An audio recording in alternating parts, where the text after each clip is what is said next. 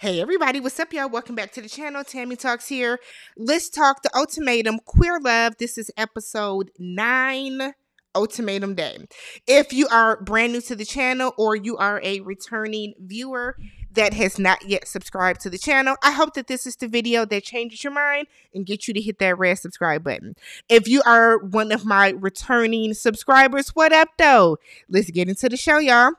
All right, so very anticlimactic very anticlimactic. And I'm not saying that from the guise of I wanted a bunch of like drama or stuff like that, but very anticlimactic. I personally think it's bull that four out of these five couples said yes. It's unrealistic. It's unrealistic, but let's talk about it. Mal and Yoly. So we pick up where the last episode exactly left off with Mal proposing. Yoly says yes. Yoly says yes. So Yoly then asks, why did it take Mal so long to uh, um, propose? Why did it take her wall being on her back being on the wall and you know Yoly threatening to walk away why did it have to take all of that for Mal to to want to propose and Mal said it's not really just about my back being on the wall so I don't even want you to think that or get that confused that's not what it was um Mal says that she thought that when you went into um, a, re- a, a, relationship like this, when you got um, engaged, she assumed that right after she proposed that it was going to be all right, let's pick a house. Let's do this. Let's start right away. She thought that everything had like this huge, very quick domino effect. And she now realizes through the help of this process that that's just not how it has to go. You can really do things on your own terms. And it's kind of shocking that Mal didn't really know that, but nonetheless, that's what she learned from this. Cool. So Yoly said that she was very hesitant coming into this, still on who she was going to pick, or even if she should pick herself. She then goes on to say, you know, Xander is ready and willing to move forward with me. So it's really on some look, if we're going to do this, I want to do it. I want to make sure that you are in it for the right reasons and not just because you don't want to lose me. So that's Yoly's main thing. So Mal acknowledges, look, I know that you are still in love with with with uh Xander. I get you're in love with two people. I would never disrespect the love and the connection that you did have with Yoly, but I mean through with Xander. But I, Mal, am willing to work through this. I'm willing to help you get through this because it's always been you for me.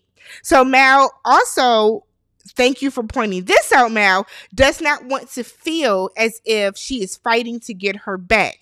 Now, if you're going to be in this with me, be in this with me. But don't just say yes if your heart is truly not in it, if you're not going to believe it believe in us, if you're not going to show up as your best self in this process.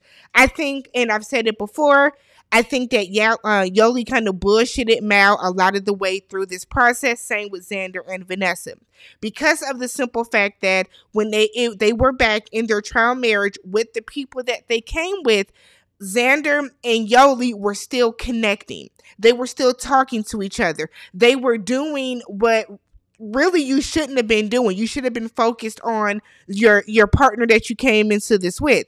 And the fact that both of them were doing that, that's why I would say Yoly is really on some bull on top of the fact that Yoly was like leading with the fact that Xander has been like preparing monetary wise for this. Xander has the insurance for this. Xander had that. So it's like, did you really want to be with Xander because you really wanted to be with Xander? Or is it because Xander had on paper what you felt that Mal didn't?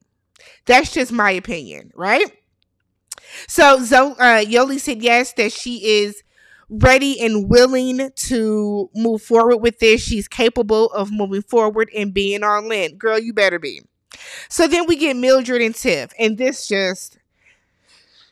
So Tiff is pouring out her soul. Mildred is like, Are you done talking? And I get that Mildred is trying to work on the interrupting part, but it came across very condescending to me at least.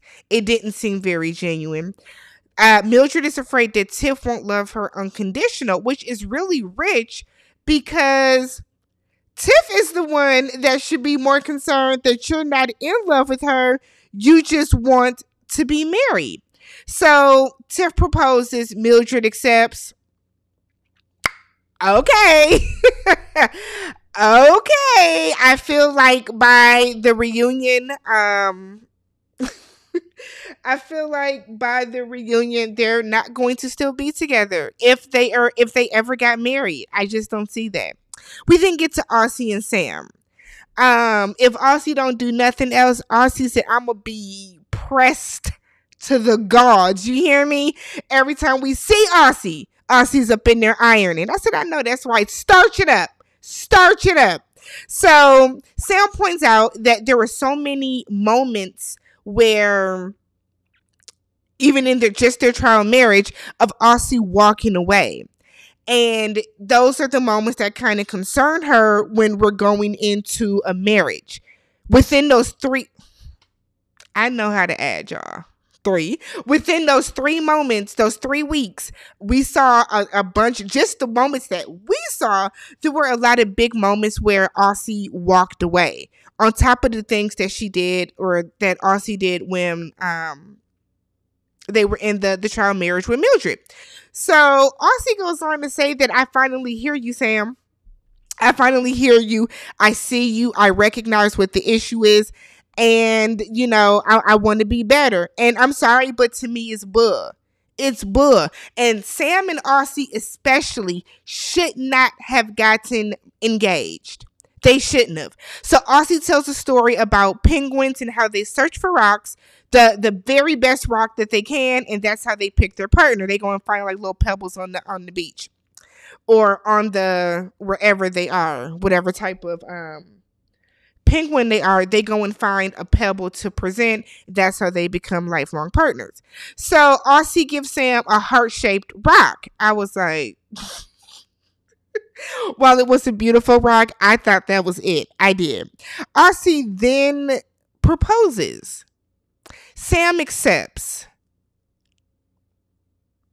Aussie hasn't had any growth. Aussie hasn't taken any real accountability. Aussie hasn't shown any promise. Aussie hasn't shown any progress. Aussie hasn't. Aussie hasn't. That's just it. Um so the fact that Sam and it just makes me wonder is it that you really and I'm talking Sam and Mildred Yoly do y'all really want to be married to the person that you feel is for you the person that you feel is your person? Or do you just want to be able to say you're married? Because there is no way that Sam, who has said that, who we have seen Aussie be disrespectful, disengaged, um, have horrible communication, lacks accountability, walks away. And I'm not saying that like nobody is saying that Aussie should want to be in there ready to tussle and argument and argue at every single time. But Sam can just ask a simple question, and if it's not something Aussie wants to talk about, then it's the end of the world. I am flabbergasted that Sam accepted Aussie's proposal. Aussie doesn't want to be married. Aussie has made that clear that uh, Aussie's not even out. And I'm not saying that that Aussie has to, well, she's out Aussie's out now because it's on TV, but you haven't even met Aussie's like Sam. and Uh, good luck, good luck. So then we have Vanessa and Xander, and boy was I wrong. I thought, okay, we'll get to it. So we have Vanessa and Xander. So disappointing in Xander's outfit choice what is this thermal shirt? Like, I'm sorry. We have seen Xander wear, you know, nice little collar shirt, nice little situation. That's what you wore? Okay. Okay, Xander. So Vanessa feels that Xander, even though Xander brought her to this process, that Xander is now taking away the ultimatum from Vanessa, and now she's the one that has to make the decision, which is true. So Xander tells Vanessa, lays out everything about how how much fun they've had and all this other type of stuff. Xander said that she has dreamed of proposing before. But in her dreams, when she has dreamed of proposing to Vanessa, they were both secure and very sure that they were the one for each other. And Xander does not think that they are there anymore. She doesn't think that they are there. She feels that Vanessa deserves more than she can she can offer her. Vanessa said that she was holding on to hope and she was hoping that the old Xander would appear. The Xander of, you know, a couple of months ago that, you know, the Xander when they did all these trips together and all this other stuff together. She Vanessa's been waiting on that Xander to appear, not this new Xander that has fallen in love with someone else. So Vanessa still doesn't know what to make of this this process. But Vanessa does know that she she wants Xander, but she wants Xander to be happy, you know, more so than anything else. They break up. Xander is is crying way more than Vanessa. I think Vanessa was trying to save face. Vanessa g- then goes on to say that I don't understand why you don't want to grow alongside me. So I think in Vanessa's Vanessa's perspective with this. Vanessa feels like I've I've made some strides. I'm trying to be better. You've seen some progress with me, but I just don't understand why you don't want to It's almost like Vanessa's like why can't like me see I can phrase this. It's almost like Vanessa does not understand why Xander can't just wait for her it's almost like that's almost the the vibe that is given. Why can't you wait for me? But vanessa took the breakup very well very maturely and they break up. We then see xander and yoly talking. Yoly is wondering if she made the best decision for herself. If you have to wonder then you didn't if you have to wonder, then you didn't. If you're second guessing, then you didn't. I have never made a decision for myself and second guessed it. Because if you're truly putting yourself first and you're doing what's on your heart and what you think is the best for you, then you're not going to second guess it, right? That's just my opinion. So Yoly took off her ring to meet up with Xander.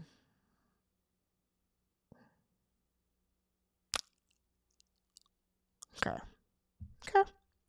So, because one of the first things that Xander did was check Yoly's left hand. Yoly was like, "Calm down, calm down." No, it's it's valid. It's valid to check your hand. I I, I really feel like Xander and Yoly should have met up first and made that decision, and then met up with their partners afterwards. That's how I think this should have went. So Xander tells Yoly that her and Vanessa did break up.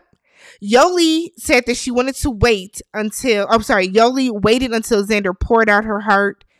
Um, and is telling her, like, I'm picking her, I'm ready to go all in with you, ready to have a family with you, ready to do all this stuff with you. Yoly waited until in that moment to say, Oh, well, I, I'm I'm engaged to Mal and I just took off my ring because I, I, I wanted to know where you were. I wanted to be sure of you. So Xander, I'm gonna get there. Let me finish my notes. So Yoly thinks that picking Xander is like picking herself. It it would be. I think. I think it would be. Yoly wants to be with Xander. Mal Alba gave you her blessing and, and her support for you to go with who you really wanted to go with.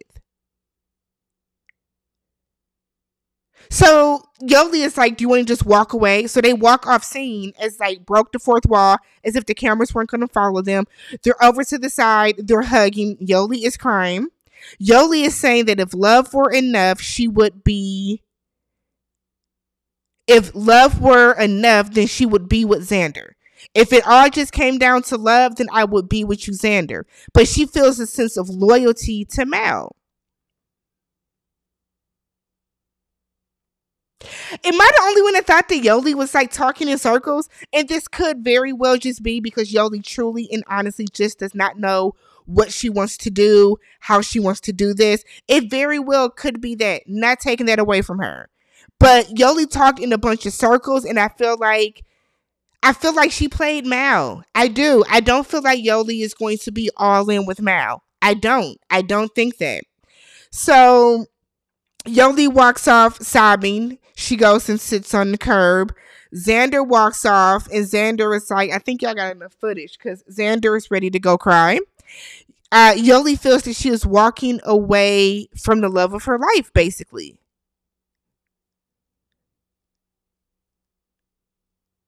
Xander says in her confessional she feels like shit. You should. You should. Because Yoly, like, low key plays you a little bit. She plays you a little bit.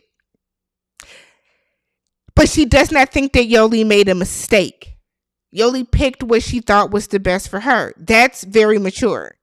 Very mature. So then Yoly calls after Xander. I said, Girl, I know you ain't about to go over there, but she goes over and hugs her. Here's the thing Yoly is going to resent Mal. And it's not because she was forced to accept Mal's proposal, because she wasn't. Mal has been very respectful of the entire process. We've said that over and over again. Mal's been very respectful of of this process. But you don't want to be with Mal. If you're staying just out of loyalty, I would prefer you go with with Xander. Don't stay to me out of just loyalty because sometimes blind loyalty is what gets people messed up. Sometimes blind loyalty is what causes resentment as well. You don't want to be with Mal. You should have picked Xander.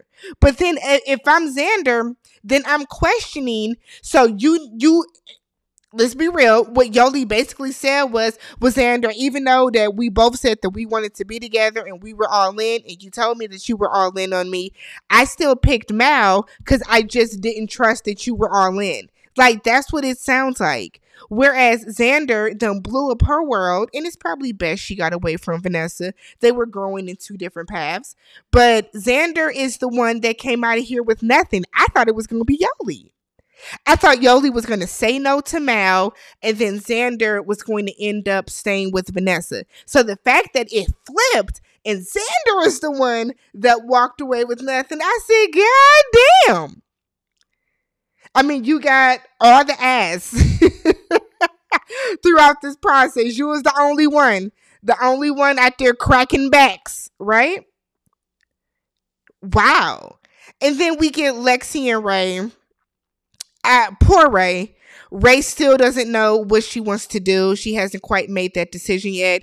She says she's going to make that decision um once she is like in the spur of the moment. Rae doesn't know what she wants to do. Doesn't know if she's ready for marriage still.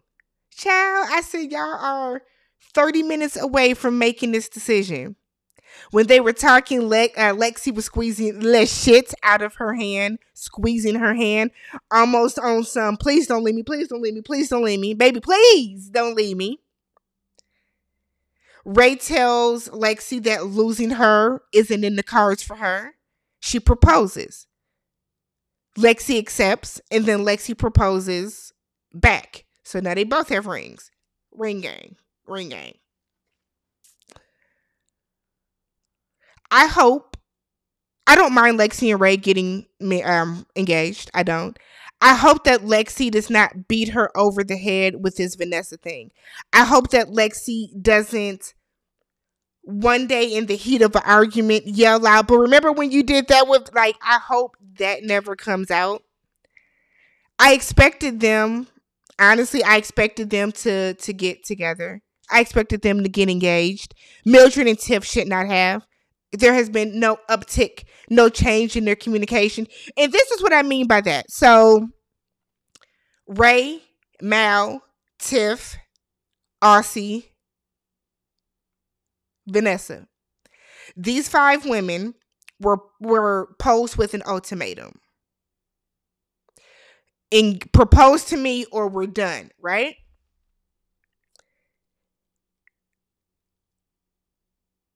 You're not demanding any change in behavior, any change in communication, any change in anything whatsoever y'all just want the ring. Y'all just want to be married. Because let's be real, there has been no major growth. Aside from Mal, who now realizes, which this could have been handled in a therapy session or a, a, sit down conversation, who now realizes that, hey, I don't have to you know, be a millionaire and have every single piece of life set up back to back to back and ready for us to get engaged. They didn't have a real issue. Fine. But these other four ladies, that had major communication issues that you know or said that marriage just wasn't for them if somebody says i don't think marriage is for me why do you think forcing them to propose to you is the best answer why is that the best thing to do but let's talk about it down below, y'all. Let me know what you guys thought about all of the couples staying together. What do you guys think about Xander and Vanessa breaking up? That was probably for the best. What do y'all think? Like, what do y'all think is gonna happen? Y'all have probably watched the reunion already. I have watched the reunion already. So let's talk about their answers down below. Who do you think should have walked away? Are you happy that they did stay married or did they, that they did stay together, that they did propose? If you have not already, subscribe to the channel, thumbs up the video, hit the notification bell so you are notified when I post the reunion. Peace.